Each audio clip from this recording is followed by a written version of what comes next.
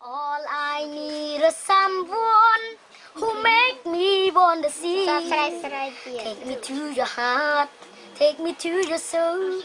Give me your hand before I'm. This is Nit, a blind orphan in Cambodia. He had a hard start at life like many other children in this country. Cambodia is a source, transit, and destination for child trafficking. The traffickers, usually organised crime syndicates, in some cases exploit children for the perverted sexual appetite of pedophiles and sex tourists.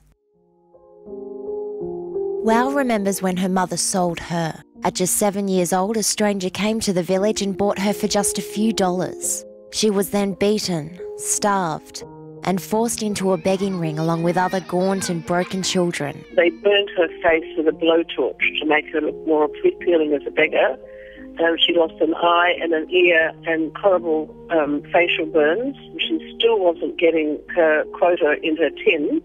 So one night the car just didn't pick her up. WA born Geraldine Cox is the creator of Sunrise Children's Village, an orphanage in Cambodia. She rescued Wow, giving her a new lease of life with care, support, and most importantly, love. When I was flying on the plane with her, we took her to Hong Kong to have an ear operation, to have an ear put in.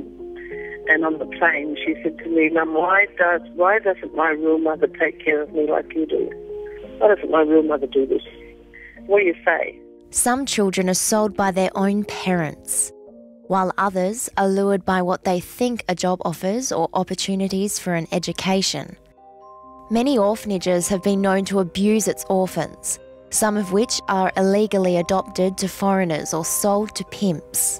I had this idealistic view of orphanages until I was asked to go and work undercover in some orphanages that aren't doing great work, that are selling their children for sex, that are abusing their children physically, emotionally, um, and unfortunately selling them and trafficking them overseas to first world countries. That's Troy Roberts, director of Raw Impact, a charity that hosts web platforms raising awareness of this multi billion dollar crime and business. When these kids are being adopted for $40,000 a pop, that is a very lucrative economy when you're when you're adopting out 10, 20, 30 kids a month.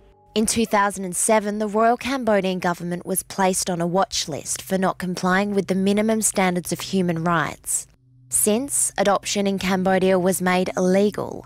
However, the Ministry of Social Affairs is now looking to legalise adoption as early as this year. Geraldine Cox. Before they banned adoptions here, people were selling their babies for $6 to an adoption ring. Troy Roberts has his concerns. If you open the gate to adoption, you are opening the gate to trafficking in an unregulated system.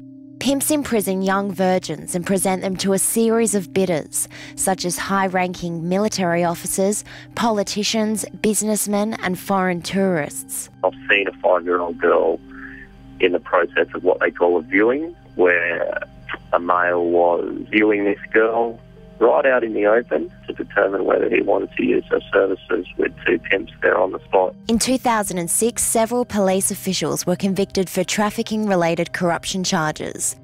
And the former deputy director of the Police Anti Human Trafficking and Juvenile Protection Department was sentenced to five years for trafficking charges. When you've got a country that suffers with corruption up to its highest levels, you've then got issues with people in high places driving things that are highly lucrative like trafficking. Cambodian police have been known to have little regard for procedure and have gained a reputation for brutality, venality, and sometimes corruption.